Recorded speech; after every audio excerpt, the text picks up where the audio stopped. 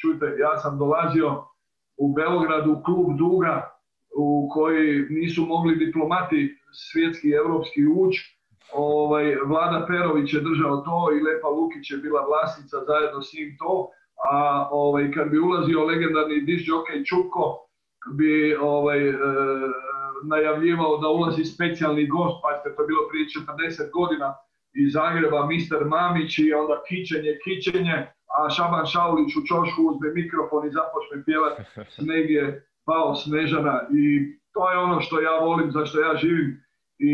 je mi se za one koji izvrću i falsificiraju i ne dam da mi uzmu moje uspomene, moju mladost, moje prijatelje i moje životne postulate.